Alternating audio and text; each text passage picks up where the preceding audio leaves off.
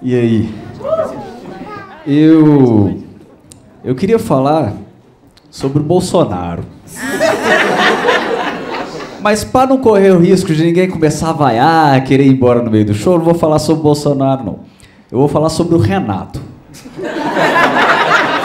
Presidente do Brasil.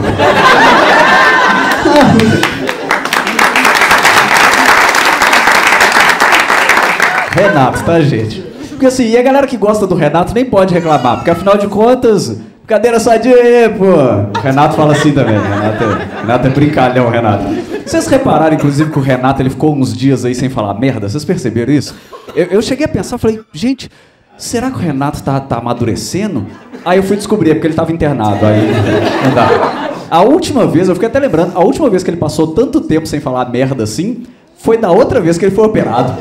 Eu comecei a pensar, a gente precisa que o Renato seja tipo o Ronaldo Fenômeno, umas duas cirurgias por mês. Só que aí, aí consegue melhorar aí o negócio. E, e, eu acho engraçado que aí o filho do Renato foi lá visitar ele no hospital, né? Aí fez questão de mostrar que tava armado, igual criança quando leva brinquedo pro colégio. Eu, eu fiquei me perguntando, que hospital perigoso é esse que o Renato tá indo, gente? O presidente tá indo no SUS agora, é isso? Ele foi operar na UPA do Lindéia? O que tá falando? Achei muito esquisito, achei muito esquisito. E eu fico torcendo de verdade pra galera saber que o filho do Renato é meio doido e dar arma de brinquedo pra ele. Sabe, tipo, não, toma aqui, vai lá brincar, vai lá, vai lá. Tem, tem, tem uma torneira no corredor pra você encher ela, vai lá, vai lá, brinca lá. Eu torço de verdade pra ser isso, porque não é possível que aqui pode ter uma arma, não.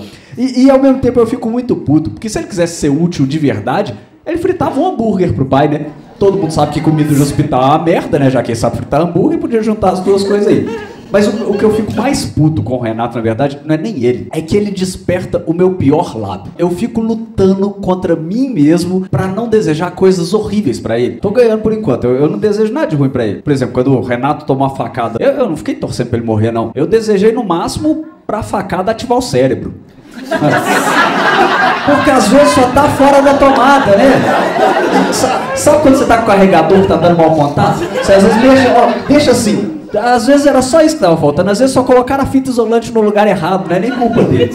Eu, eu fico de cara com isso, porque assim, mas de verdade, eu, eu luto de verdade, não é brincadeira isso, eu luto de verdade para não desejar nada de mal para ele e não desejo de verdade. Eu só desejo que ele morra. Não, não, Costoli, não, você não é assim, você não deseja isso. Você só quer que ele renuncie e depois morra. Não, não, não quero, não quero. De verdade, não, não quero mesmo, não. Não acho que esse seja o, o caminho, não. Mas, mas é uma luta difícil, é uma luta difícil. Para cada coisa que ele fala, é bem difícil de, de, de segurar. E eu acho muito, me dá muita raiva, porque o Renato, ele é, não dá para dizer também que ele é que ele é preconceituoso com algumas coisas, né? Por exemplo, ele fala merda sobre todos os assuntos. Ele, ele não tem nisso, ele não tem preferência, né? Ele fala de todos. Tipo, política externa, já falou merda. Ah, educação, já falou merda. Meio ambiente, falou merda. Ele só não falou merda até hoje de polo aquático. E ainda assim porque ninguém perguntou. Se alguém perguntar, eu acho que sai. Eu acho que sai alguma coisa dali também. Você vê no Rio de Janeiro outro dia, vocês ficaram sabendo disso, que o, o cara lá do Rio de Janeiro, ele quis, ele tentou censurar uma revistinha em quadrinhos. Vocês viram isso? Notem a palavra, ele tentou censurar uma revistinha em quadrinho e não conseguiu. O Rio de Janeiro tá tão fundido que os caras não conseguem censurar uma revistinha, tem noção disso? E aí eles querem me falar que vão resolver o crime organizado. Os caras querem quer ganhar do PCC, não conseguem ganhar da turma da Mônica. Para com isso. Não vai, não vai ganhar nunca. Só, vai se fuder. E aí tem gente que vem falar, tipo assim, ah, mas não era, não era a turma da Mônica, não, era da Marvel. Ah, bem melhor agora, hein?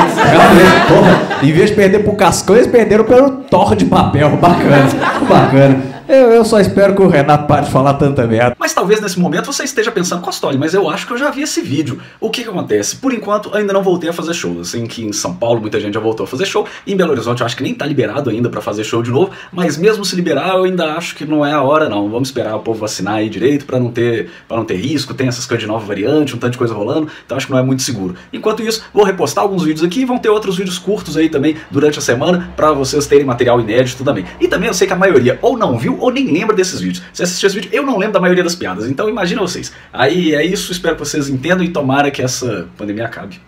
Eu ia falar tomara que acabe logo, mas já chegou num ponto que a tomara que acabe um dia.